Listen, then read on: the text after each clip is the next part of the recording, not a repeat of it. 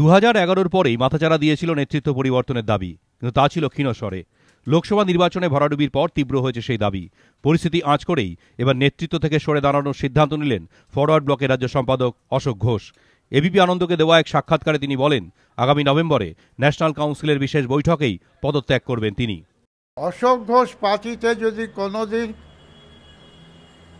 অন্যায় কিছু করে থাকে তাহলে পার্টি তাকে ক্ষমা করতো না।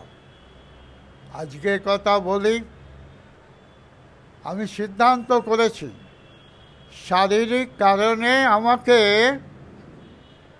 সরে দাঁড়াতে হবে। কিন্তু সেটা রাজনৈতিক প্রয়োজনে নয়। পদত্যাগ করলেও নেতৃত্ব দিতে তিনি ব্যর্থ হয়েছেন, এমনটা মেনে নিতে রাজি নন বর্ষিয়ান এই ফরওয়ার্ড ব্লক নেতা।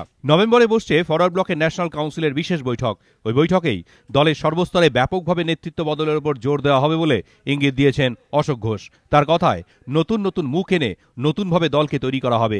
কে হবেন পরবর্তী রাজ্য সম্পাদক? এই প্রশ্নের মীমাংসাও নিজেই করতে চান অশোক ঘোষ। আপনি যদি পদত্যাগ করেন, আপনার পদে যিনি আসবেন তাকে কি আপনি নির্বাচন করবেন? নাকি দল করবে? আপনি আপনার উত্তরাধিকার কে হবে বলে যাবেন? নাকি দল বলবে? আমার ভূমিকা ছাড়া ফরওয়ার্ড ব্লকে কোনো কাজ হয় না, হতে পারে না।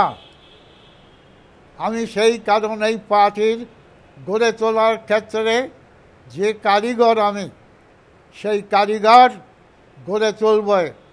নতুন দিনের কারিগরের দায়িত্বকে নেবে, পার্টিকে পরিচালনার দায়িত্বকে নেবে, সেটা আমি ঠিক করে ফেলেছি।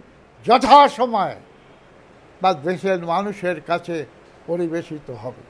গণতান্ত্রিক পদ্ধতি অনুযায়ী রাজ্য সম্পাদকের মতো শীর্ষ এই পদে কে বসবেন, সেই প্রশ্নের মীমাংসার জন্য দলের অন্দরে আলোচনা জরুরি। কিন্তু জরুরি এই প্রশ্নটি আদৌ গুরুত্ব পাবে কি? অশোক ঘোষ, একতরফা সিদ্ধান্ত নিলে সেই সম্ভাবনা নেই বললেই চলে। শেষ পর্যন্ত একতরফা সিদ্ধান্ত নেওয়া হলে সেই পদ্ধতি ঘিরেও দলের অন্দরে তৈরি হতে পারে নয়া বিবাদ।